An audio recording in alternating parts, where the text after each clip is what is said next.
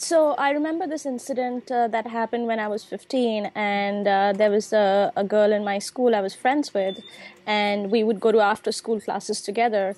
And uh, her parents were always really nice to me.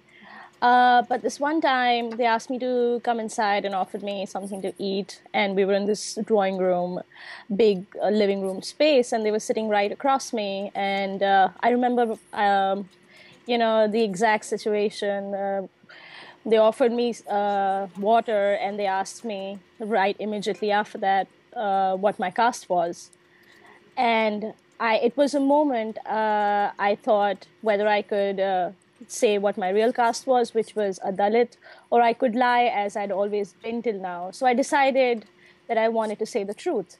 And I told them.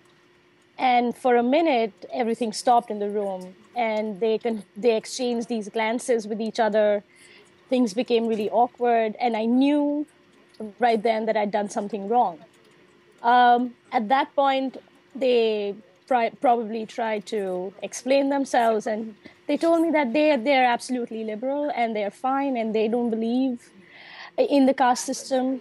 Uh, but I knew something was wrong because then they asked me to leave. Um, soon after that, a couple of days later, when I saw my friend and I wanted to speak to her, she categorically told me that her parents have asked me not to speak to her, and she's really sorry about that.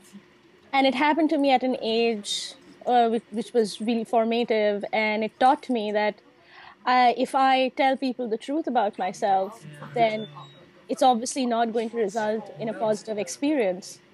So I learned how to hide my real identity very effectively since then.